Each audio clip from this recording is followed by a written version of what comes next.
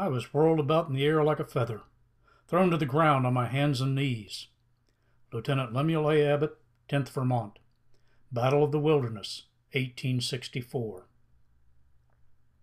I do hope the Yankees will assault our line, for I want a victory here to balance those in Virginia and out west. Lieutenant A. J. Neal, Marion Light Artillery, Mill Gap, Georgia, 1864. They fought like bulldogs and died like soldiers. Southern bayonets dripped with blood. Private Henry L. Byrd, 12th Virginia, Battle of the Crater, 1864. For the third year, armies of the Union and the Confederacy were hammering at each other. But this year, a sea change would occur. Civilians, their homes and businesses became targets. The largest Union armies no longer retreated after stinging defeats, but maintained a bulldog grip on their opponents. This year would be different. This would be 1864, the year of relentless war.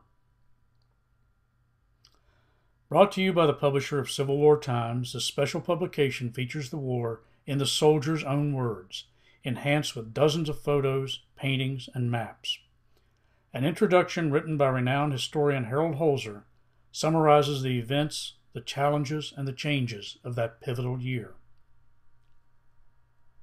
The publication features battles like Spotsylvania, Atlanta, Petersburg, and many more.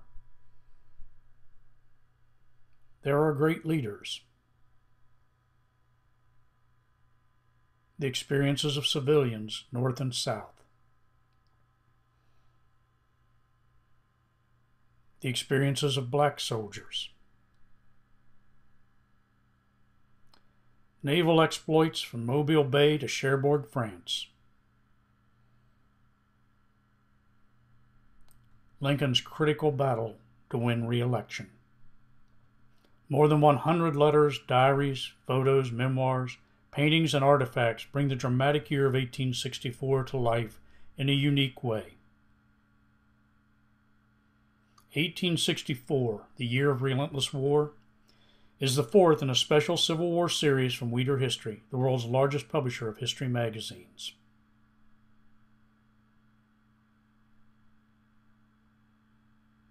To order your copy of 1864, The Year of Relentless War, and other titles in this special series, go to HistoryNetShop.com.